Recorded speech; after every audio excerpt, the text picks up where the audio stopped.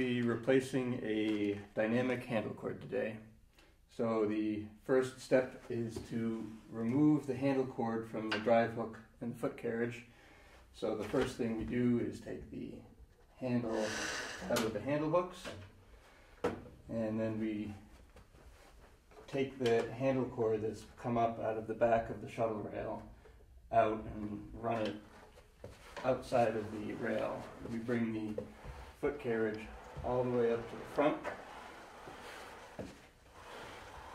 And you'll see there's a wider gap in the front of the rail, and then you can just unhook the cord from the hook on the foot carriage. back. And then we'll pull the cord through the shuttle pulley. So we're pulling the looped end through the two pulleys. And shuttle pulley go back.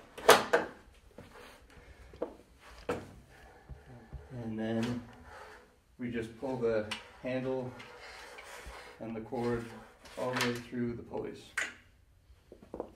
Now we need to remove the handle cord from the handle. So we need a 7 16 wrench and you unscrew the two nuts on the U-bolt.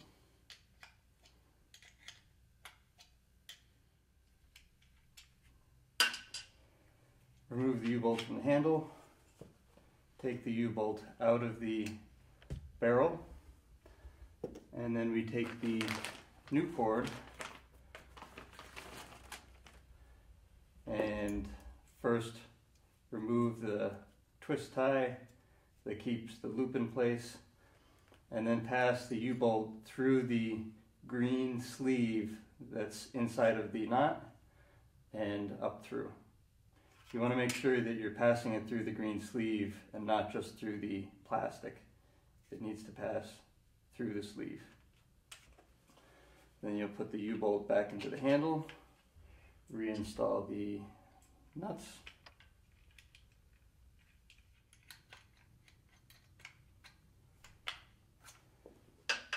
Now, you'll thread the handle into the top pulley of the front legs and then down the front and then under the bottom pulley and up inside the rail.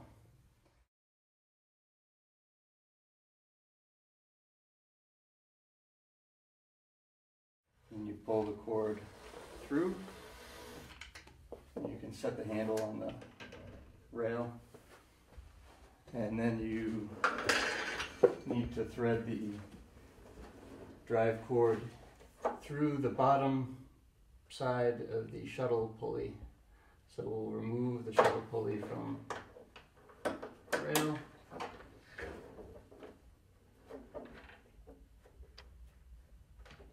Up into the bottom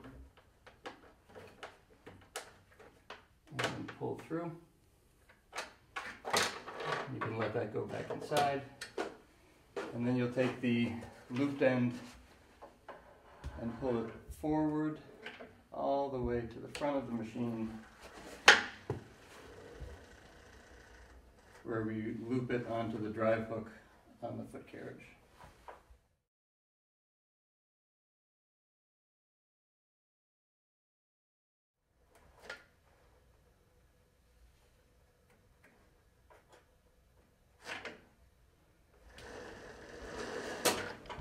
Then return the handle to the handle hooks.